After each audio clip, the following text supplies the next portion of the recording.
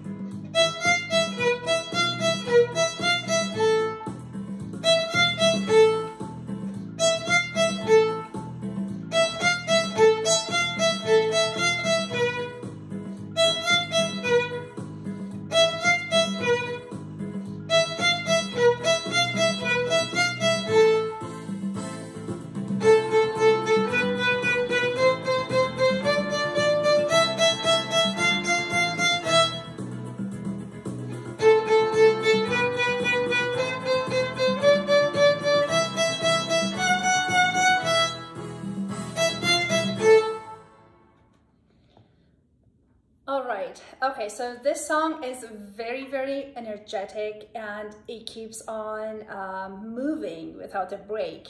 So, but it has a couple of um, spots that it's challenging our brain to see if we remember that we don't have any sharps. So it's very common for, for us, for beginner students to always use a high finger and a high second finger, high first finger. In this song, we are being challenged to use our fingers low. Okay, uh, not all of them, of course, some of them. Our first two notes is E and F. E is the first, first finger on D string here. The next note is an F natural, so make sure you don't put your finger here. This is very dangerous because you're going to make an F sharp sound. Okay, so right after you play your E, put your second finger together and play F natural. And then it goes on E string. And then it goes to F. Be careful, don't play a F sharp. Pull your finger back and play F natural. Okay, so we have a low E, low F, high E, high F, like that.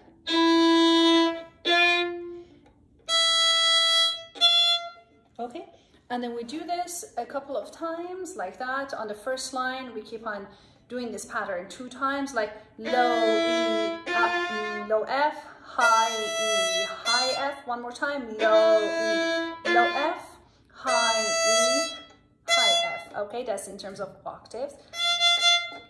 Okay, and then on the second line, we do this a little faster as quarter notes. We go E, F,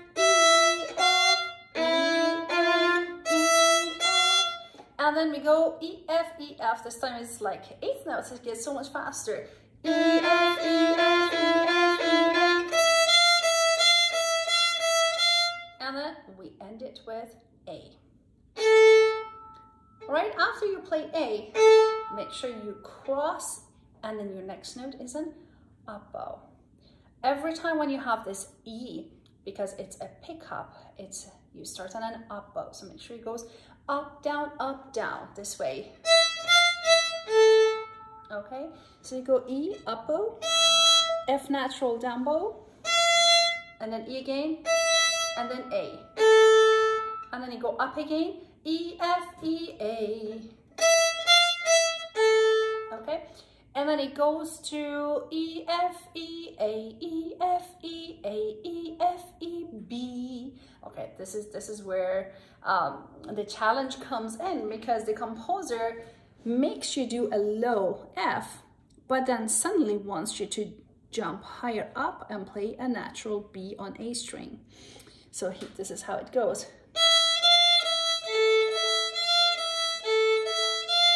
Jump up. Okay, and then you go up again. Up, down, up, down. That's a B. So it makes you go from low finger to high finger, an E string and A string. Okay, and then it goes. Uh,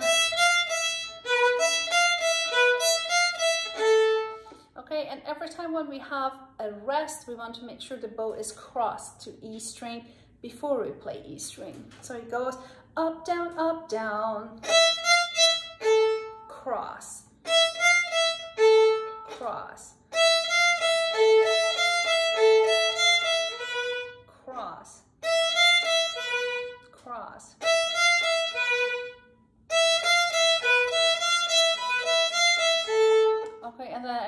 it's, very, very easy. A, A, A, A, B, B, B, B, and then you have a C natural, a low C, D is away, E, low F, E, the last line,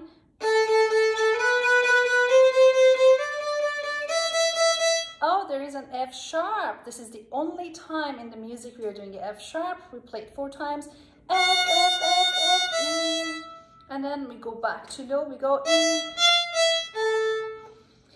All right, so there are a couple of things about uh, this song. First of all, use low F. Second finger is low on D string. First finger is low on E string. And then uh, the other very important thing is that every time when you go ta ta ta ta, your first note always starts on an up bow. Okay, because that is like a pickup basically. And it's the offbeat.